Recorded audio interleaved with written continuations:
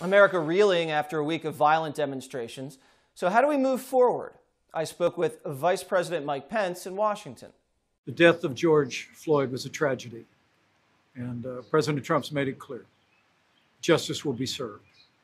We know now charges have been brought against all four police officers, and the president immediately deployed Justice Department officials to examine the possibility of federal charges to be brought as well. But what happened on that street in Minneapolis shocked the conscience uh, of the nation, and uh, uh, we stand with every American who was taken aback by that act, and uh, we, we, we will stand for justice uh, every day until it's achieved. The black community is in a lot of pain right now. You're a man of faith. You've marched with civil rights leaders, Yeah. Bloody Sunday anniversary. How are we going to go about healing this country?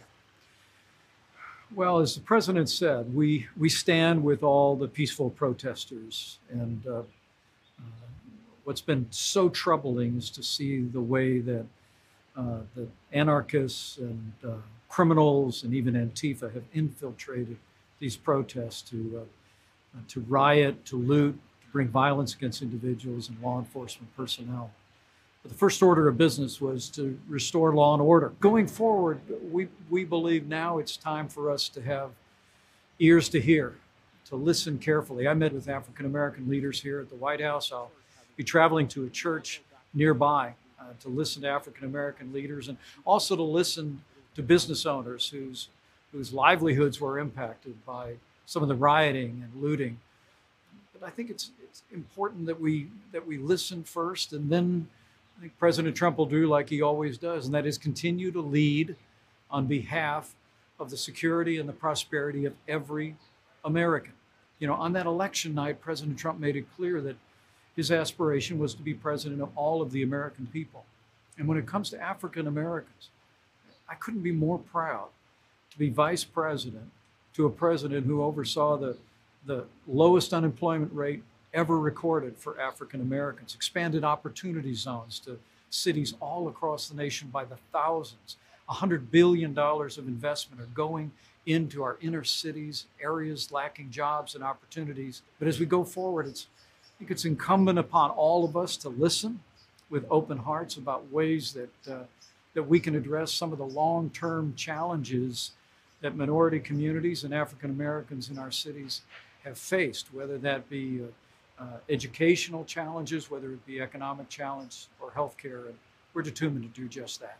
Some of these liberal politicians, like Mayor Bill de Blasio, won't protect his own city.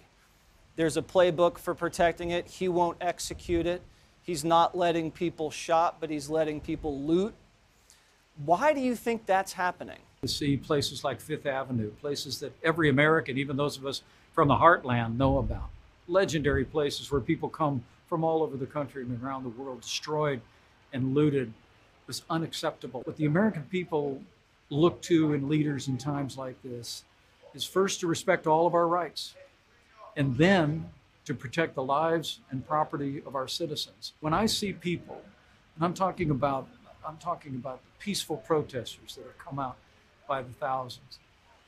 It tells me, Jesse, that um, that some of the long-term inequities in this country have been laid bare by the tragic death of George Floyd. And I promise you, building on our record for African Americans over the last three and a half years, that once we re- restore order in our streets, uh, once we make sure that any any families or businesses impacted uh, are are uh, are remedied through this, we're gonna we're gonna listen very carefully. We're gonna offer an agenda that's going to truly offer not the failed Democrat policies of the last 50 years that have failed African Americans in many family center inner cities. We're going to offer a positive agenda and real results. And that's always the approach President Donald Trump takes. The president left the White House, took a walk over to the church that had been burned the night Yeah. before, and held a Bible up. It was a very powerful symbol for the country. What did that symbol represent to you personally? What that said to me was that here in America, we will not tolerate burning churches, rioting and looting, or taking advantage of what would otherwise be peaceful protests to pursue criminal aims. And the president strode across Lafayette Park. He paid his respects at one of the most venerated churches in America to make that point. But he also took action. And the president's decision to deploy the National Guard here in our nation's capital uh, to ensure that, that uh, here in the very seat of our democracy that, that we preserved the law and order that is necessary for a free society. You know, that our, our, our prosperity, our way of life depends on security, and it's the reason why the president took that decisive action and also called on every governor in America to utilize their National Guard in a similar fashion. It's about protecting peaceful protesters, it's about protecting businesses in the areas where this, some of the rioting has taken place and looting. Uh, and ultimately, it's, it's about creating the conditions where Americans can express themselves uh, in, in freedom and openness that we've always enjoyed through our history.